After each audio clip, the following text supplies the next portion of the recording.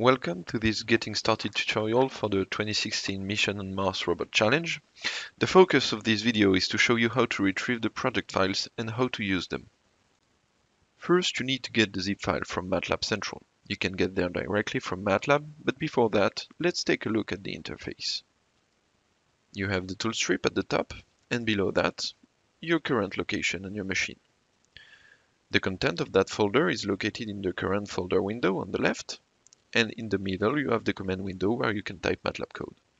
Finally, on the right is the workspace which contains the variables in memory. The simplest way to go to MATLAB Central is to go to the Home tab and click on the Community button. This will open your default web browser to the MATLAB Central web page.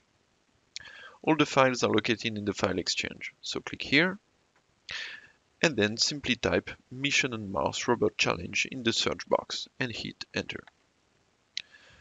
Now be careful to pick the correct post, which is the 2016 one. And finally, the last step is to hit the download button. Once this is done, you can go back to MATLAB and navigate to your download folder. For example, by clicking on the Browse button and selecting the correct folder. Now, you don't really want to work in your download folder, so you should probably copy the zip file, for example by right-clicking on it and selecting copy, and paste it somewhere else. In my case, I'll just go back to the previous folder and paste it here.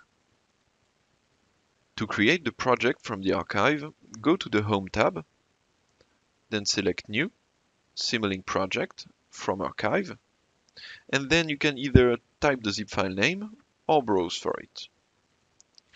Then click Extract, Yes, and the Simulink project is created. It also opens the Simulink project window where you can see all the files and folders of the Simulink project. If you need to open the project again later, simply double-click on the .prj file. When you open the project, there is also a message printed in the command window with two hyperlinks. The second one, Setup Arena, is used to create scenarios with obstacles and targets. I'll talk about that part in more details in another video but if you cannot wait until then, the documentation is located in the doc folder. Right here. The first link will open the simulation model, which is located in the model folder, here. So click on the link and the Simulink model will open.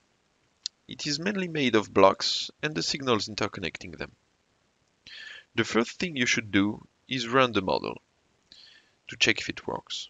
You can do that by clicking the Run button.